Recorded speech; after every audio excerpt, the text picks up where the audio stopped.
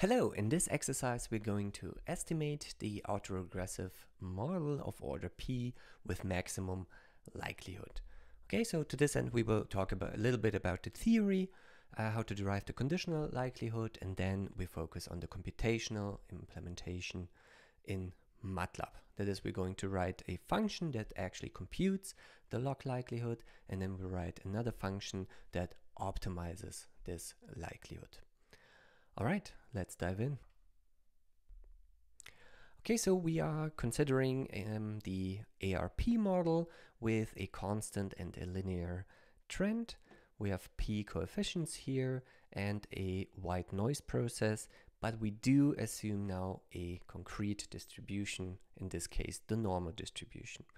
Okay?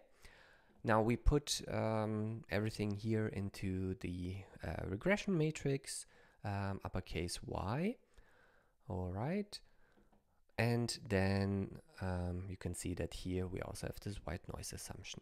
Now, if the sample distribution is known, um, it has some probability distribution, okay? Um, and in our case, since we know this is normally distributed um, and sums of normally distributed variables are also normally distributed, we actually can derive this analytically and we will do this in this exercise. Now, if we can do that, an estimation with maximum likelihood is feasible and possible. So what do we need to do? Um, we need to decompose the joint distribution of y1, y2 up to y uppercase t, uh, given um, the coefficient, uh, the coefficient, um, the, the vector of parameters and the standard error of the white noise process.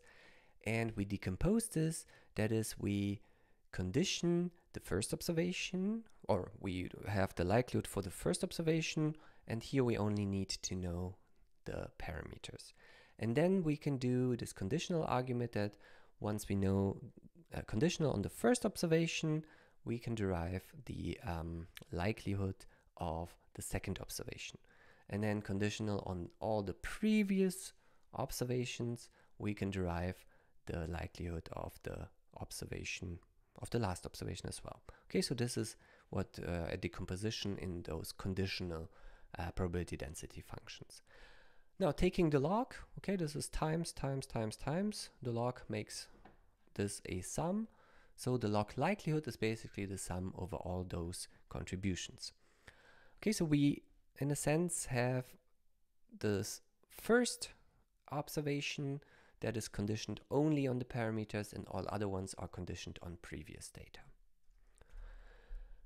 Now let's denote the values that maximize the log likelihood with a tilde um, and um, one can show um, or you should know from your econometrics uh, classes that maximum likelihood estimators uh, are under very general assumptions uh, or do have an asymptotic normal distribution. Okay, and the And the covariance matrix of the normal distribution, uh, which we need to compute standard errors for our uh, theta tilde and sigma u tilde, um, these are, or these stem from the so-called asymptotic information matrix or from the inverse of the asymptotic information matrix. Now recall that the asymptotic information matrix is basically the Hessian of the log likelihood. Well, not exactly the Hessian, but minus the expectation of the Hessian uh, divided by the sample size. Okay, so we can compute this matrix by having a look at the second derivatives um, and then divide this by t and take the minus, take the inverse right here, and then we get our standard errors. Okay, now let's dive into this exercise. Okay, first let us consider the AR1 model, okay, uh, just with a constant, um, which looks like this. And now let's derive the exact log likelihood function, okay? And we assume stationarity, uh, covariant stationarity, because the uh, coefficient here is inside the unit circle. So the first observation, y1, is a random variable and it has a mean and variance, okay? So the expectation of the first observation is equal to the expectation of the AR1 process and this is given that we have a constant 1c over 1 minus theta. the variance of uh, y1 is then also equal to the variance of the AR1 process, and this is sigma square u divided by 1 minus theta squared. Now, since the error terms are Gaussian, y1 is also Gaussian. Okay, so y1 is normally distributed with expectation c over 1 minus theta and sigma square u divided by 1 minus theta square. And the PDF, okay, so f1, y1 given my parameters is the normal PDF, okay? So this is 1 over square root of 2 pi. Okay, so times the standard error. So let's, we need to take the square root of this expression here.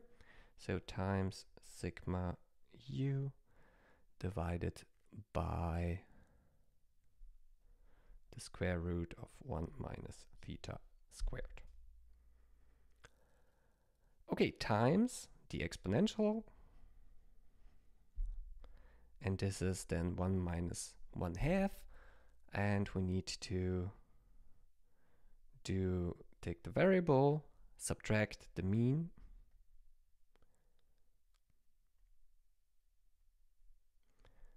And take the square. Okay.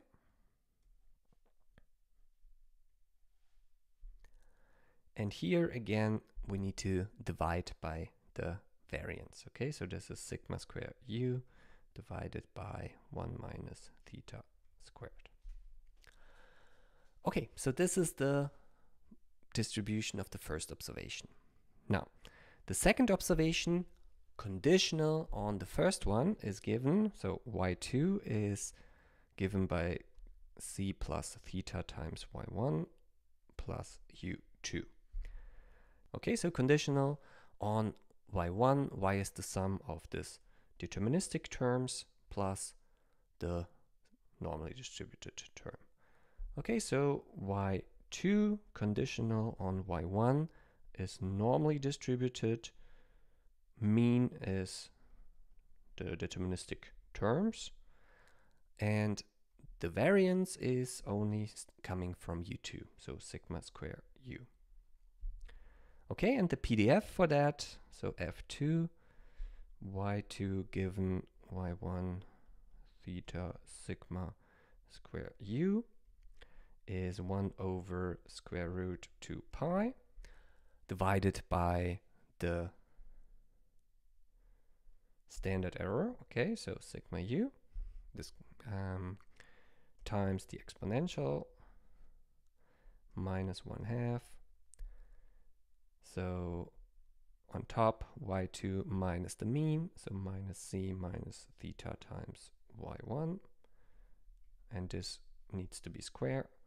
And below, divide by the variance, okay? And we need to close the exponential function.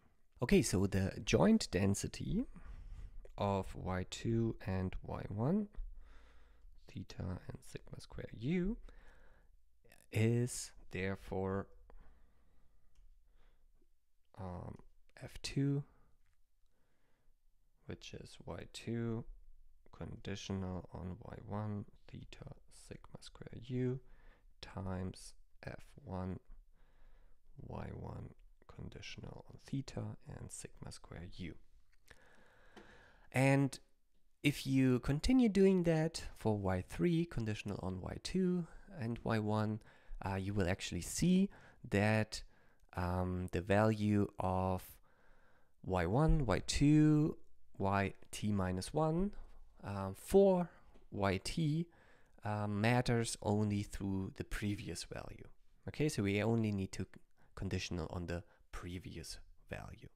Okay, and the density, that is the, the so the density of yt given the previous value, again, all other ones uh, we don't really need. We, um, we just need like the previous one because we're in an AR1 model. For an ARP model, you would actually condition on the P, um, P legs here.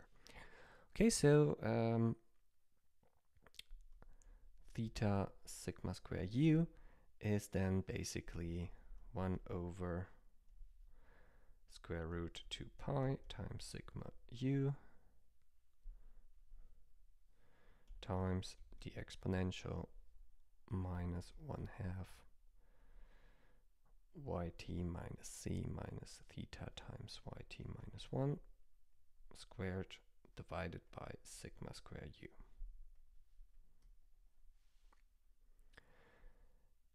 Okay, note right here, this is basically the residual. Okay, this is the error term. Okay, so this is just the PDF of UT. Okay, so this is the whole idea.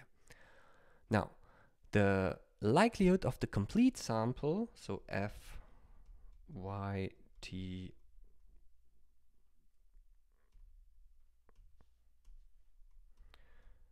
yt yt minus 1 up to y1 given my parameters is then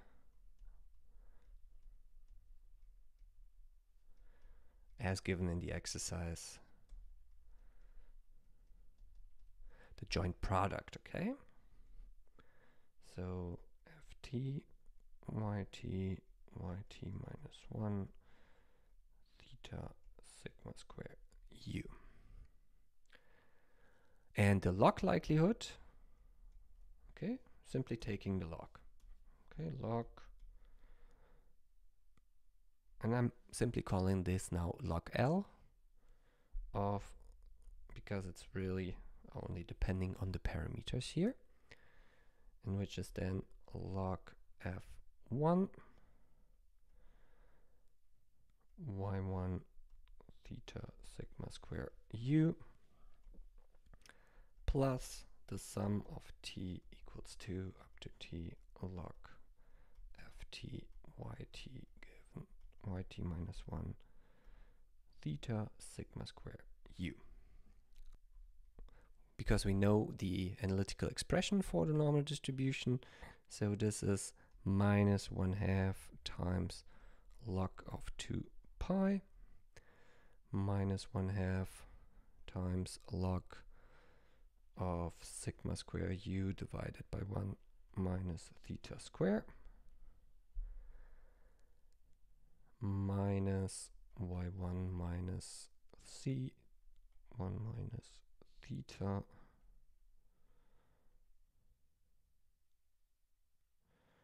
or sorry and we need to square this and this is divided then by 2 times sigma square u divided by 1 minus theta squared. So this is basically the log likelihood function of the first observation. And then we have capit um, uppercase t minus 1 um, of these expressions. They all basically have common stuff like uh, constants. So we have minus t minus 1 uh, over 2 times this 2 pi coefficient there. And we also have minus um, t minus 1 half times the sigma square u. And then we have the t equals 2 to capital T right here, yt minus. So let me actually, now let's keep it this way. Theta times yt minus 1. We need to square this and sigma square u. So this is the exact log likelihood function. Now coming back to the exercise, let us now regard the value of the first observation as a deterministic um, or equivalently um, its contribution as we go on on time disappears asymptotically. Now let's uh, maximize the conditional log likelihood analytically to get our maximum, maximum likelihood estimates log LC of theta sigma square u equals minus t minus 1 half, t minus 1 half times log of 2 pi, so some constant, which does not change with my coefficients, minus t minus 1 half times the log of sigma squared u and then minus the sum t equals 2 up to t and again as I was saying this is ut okay so this is basically ut squared divided by 2 times sigma square u. If we maximize this log likelihood, we need to take the derivative with respect to um, theta. And now theta is does not influence this term, does not influence this term, but it has an influence on this term right here. Okay, because it's in the residuals. Okay, again, here's the theta. But basically, so I'm minimizing, have a look, what, what is this? This is the sum of squared residuals. Okay, so this is the exact same estimate than we would get with OLS. Okay, so maximizing, okay, so this is OLS. Okay, again, here are the residuals. If I maximize, but here's a minus, so this is the same as I would minimize those residuals. Now, maximizing with respect to sigma u is a bit different because we also have this term over here and this term. So note that the estimator for the variance is different because we not only minimize the sum of squared residuals here, and those will give me t minus 1 terms. I also have one more. So maximizing with respect to sigma u is a bit different uh, than OLS. Uh, for OLS, I would divide by the effective sample size, which is t minus 1 here, and do also one more. Okay, so t minus 1 minus 1. And here I would only divide by t minus 1, okay, by the effective sample size. Okay, so with respect to sigma is different from o OLS. Okay, so there's a slight difference. Of course, if your sample size is very large, it doesn't matter. Okay. Okay, now let's consider the general ARP model. Let us, uh, in MATLAB, write a function. Let's call this log-like RP norm that takes as input x, y, p, and const. And this is supposed to compute the value of the conditional log likelihood. Okay, conditional on the first p observation of a Gaussian ARP model. And here is basically the formula um, which we would then need, which is very similar to what we just derived for the AR1 model. Uh, for ARP, we just condition on, on P observations here. And this X uh, contains is, uh, my parameters, okay? Y is the vector of data, uh, P is the number of lags, and constant is equal to 1 if I have a constant in the model, and equal to 2 if I have a constant and a linear time trend. Okay, let us write this function. Okay, so function log like equals log like ARP norm for normal distribution. So this is the vector of parameters, data, number of lags, and I might have a constant in the model, and this is my function end. Now, let us first get our theta from the vector x here. So those are my um, constant, linear, time, trend, and AR coefficients. Okay, now u, let's assume this is basically the the last value, okay? Or let's put it like that. So again, let me first get the sample size ready here. Let's create the so this is the sample size. This is the standard deviation of the error term.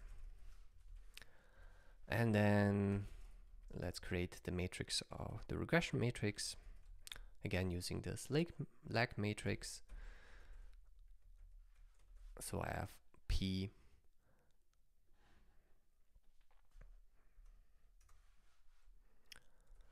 P lags. And then, so this is create matrix with lagged variables. Then if I have a constant, I need to add this to my regression matrix. So I need to add a column of ones and then y.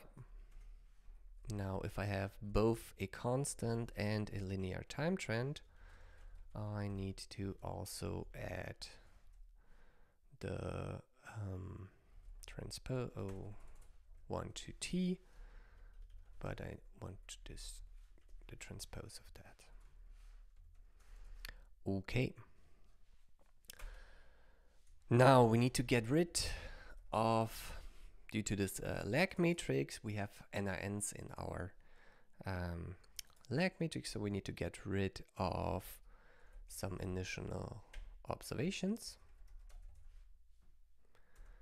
So basically my y is based on p plus 1 to the last entry and the same of course for my lowercase y, my endogenous variable in the regression or in the model, the left hand side variable. Okay, then let's compute the um, maximum likelihood residuals here. So this is basically y minus y times theta. Those are the maximum likelihood residuals.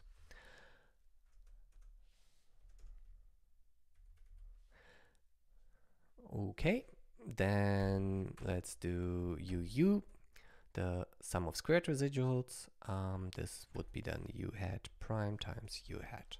Okay, this is the maximum likelihood sum of residuals, sum of squared residuals. And then let's compute the conditional log likelihood. Okay, we have the sum of squared residuals right here already. Okay, so the log likelihood, okay, this is, let's compute the conditional log likelihood. Okay, so the log likelihood is equals minus log times 2 times pi times t minus p divided by 2 minus the log of sec u squared um, times t minus p divided by 2 the minus the sum of squared residuals and I need to divide this by 2 times sec u squared. There you go. This is the log likelihood. This is what the, this function will output. Now we will use this function to, we will use a numerical optimization optimizer to maximize this function. Okay, so basically what a numerical optimizer does, it tries uh, tries in a clever way different values for this x. So different thetas, different sec u's, and then we will compute given a sigma u and given a theta, we will compute the log likelihood. And what I like to do if I'm um, optimizing a, a, function, I also want to um, take care of those edge cases. Okay, so what if the uh, something happens here that this is actually not a number. Okay, so log likelihood. Or um, this is the or symbol. Okay, so what if it is infinity? Okay. Or what if it is not real? Okay, so if it is complex and there is this function is real that can check whether my log like is a real number and this little symbol tells me not. Okay. So whenever that happens, I'm simply setting this to a very small number. Okay. So if anything goes wrong, set value to very small. And that's it. Okay, so this is my log likelihood function. Let's save this.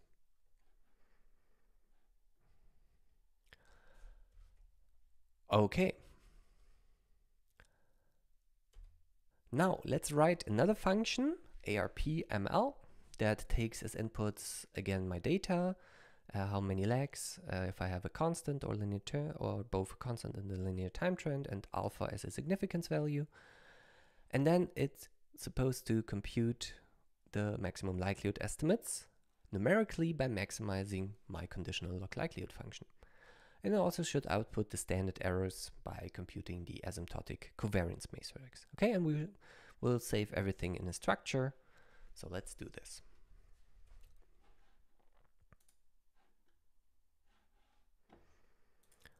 Okay, so function ml, arp ml, yp const and alpha.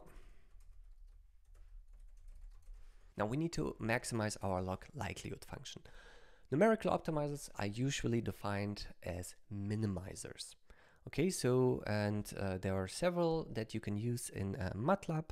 More or less, you have two categories. You have on the one hand gradient-based um, optimizers which are very fast and very accurate if the functions are well behaved and they you can actually compute the gradient nicely or simulation based um, optimizers which can uh, perform often better if the problem at hand the function is uh, has many ridges uh, is not well defined but it uh, usually takes longer. Okay in our case uh, everything is fine so we can for instance use um, uh, f min unc. If you have MATLAB's uh, optimization toolbox or global optimization toolbox, you have a whole battery of optimizers that you can try out here. Okay, and um, again, all those optimizers are defined as minimizers, um, which finds the minimum of negative log likelihood. Okay, don't forget that we need to uh, focus on the negative.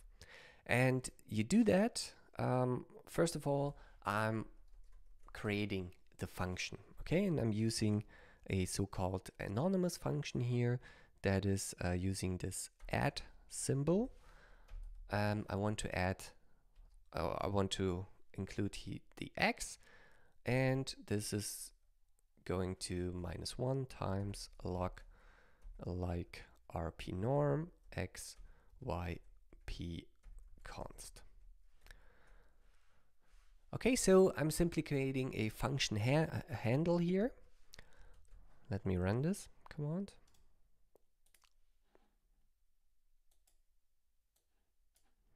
Okay, and you can actually see, all right, this is a so-called function handle. Okay, it has one input, the x, and this will be in here. All other inputs, y, p, and const are taken from the rest of the function. Okay, so this is a use function uh, handle to hand over uh, additional parameters. That's it, okay? And then the command fmin unc. Okay, it requires a function which is now my f, and x0, which are starting values. Okay, and if we have a look at the help to this, okay, find minimum of unconstrained multivariate functions. Okay, there's also, of course, something for constraint if you have bounds on your problem, but we, we don't have that. Well, actually we do, maybe for, for instance, the sigma uh, supposed to be positive. Now, what can this function give, um, provide me? Well, x is, you can have a look here, what it is. Um, so x is basically the optimized um, parameters. fval is the minimized function value. And then there's an exit flag if everything went right or not. Then there are some additional outputs. And there's also the gradient and the Hessian. So this is quite nice because remember we need the the Hessian of the log likelihood, right? The second derivatives to compute the standard errors. So let me copy this output arguments over here. Okay, so x will be my optimized parameters. This is my function value and the Hessian. I still need some initial values. And here, basically, you should try many different ones, okay? And it's always good maybe to also randomize those, okay? So how many do I need? I need PAR coefficients. I have this constant that um, terms and the one um, standard error of the white noise process. Okay, so I'm simply randomly drawing this from the normal distribution. Okay, and then I'm computing this here. Okay. Let's see whether or not this works. Okay, so let's load in a data set, the AR4, which is AR4 data. And let's do YAR4 data. Now let's do four lags, one constant, and the of 0.05. Now let's see whether or not we did everything correctly. Oh, already, so this was the function handle. This was the initial values, and let's see what errors we get. Okay, something wrong in our log likelihood function in line 17. Um, something does not work over here. So how can you test that? Okay, so in a sense, we do have our x0 all right. Okay, so for our log likelihood function, we need an x. So let's put x equals x0. Let's see whether or not we get any mistakes here. This looks okay. Ah, okay, I see. Yes, of course, this is a matrix and I want to get rid of initial observations in rows. Okay, so I need to carry over the columns here.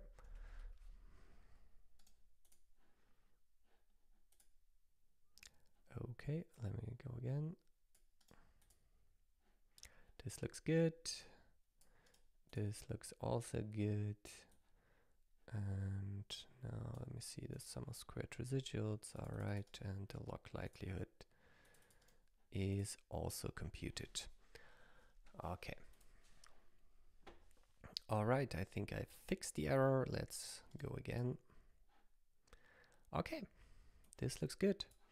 Local minimum found. Okay, completed because the size of the gradient is less than the value of the optimality tolerance. All right, we succeeded. Now let us uh, put this everything into a nice format. Okay, so let's um, put the maximum likelihood estimates. Those were the one up to p plus constant. So those are the estimated coefficients. Um, the sigma, that was the last one. Now the estimated covariance matrix was minus the inverse of the Hessian of the log likelihood because we are minimizing, so we are already have the minus in here. So we sing, simply need to do inverse of the Hessian. Okay, so this is then the estimated covariance matrix of coefficients. So the, let's call this a. This is then the square root of let's focus on the diagonal of this matrix. So those this is the estimated standard error vector. And sig theta tilde is then sig 1 plus p plus constant. And okay, what else do we need? Oh, maybe the effective sample size. Size. Uh, the value of the log likelihood, which is then minus the function value. Okay, so this is the value of maximized log likelihood. The t-statistic, which is theta tilde, is a vector. I want to divide this element-wise by the standard error. Okay, so this is the t-statistic. The critical value from um, um, of divided by 2 and this is then tf minus p. So this is the critical value from uh, t distribution. Oh of course I forgot the minus p minus const now the p-values is t PDF t statistic and again the same degrees of freedom. Okay, so this is the p-values from t distribution. Um, the confidence interval, let's compute this. So theta ci, theta tilde,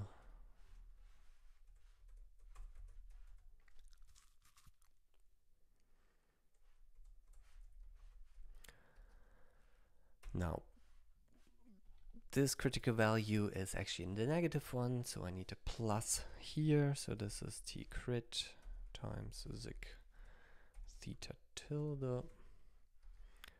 And the upper bound is then, so let's put in a vector here, okay? Comma, put in the minus in here. Okay. And let's store into output structure. Let's save this and let's call this arpml.m.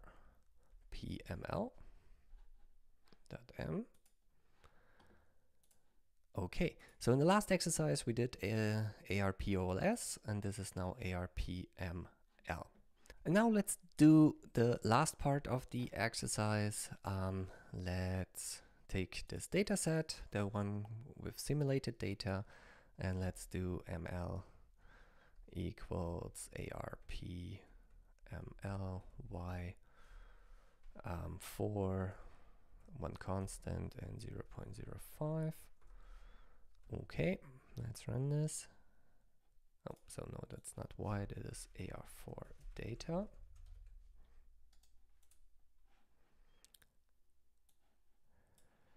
Oh, there's something wrong. Um, ARPML. I don't have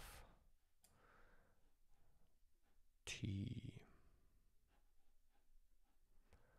Okay, um, let's simply. I don't have the T, so that's due to T up here, the original one, like that. Okay. Okay and then I get my results. Okay, and once you've finished, I always advise that you go back into your to your functions here and tell exactly what you're doing. So this is maximum likelihood estimation of a Gaussian ARP model. Okay, so these are the inputs here and these are the outputs. All right, and I'm also calling another function that actually computes the log likelihood function. Okay, so this is the comment for this function here. And here, okay, so this computes the conditional log likelihood function of this model. This is the call.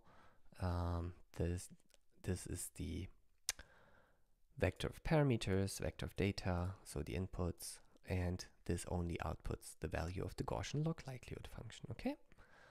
All right. Okay. Okay, that's it. I hope you found this useful. Bye bye.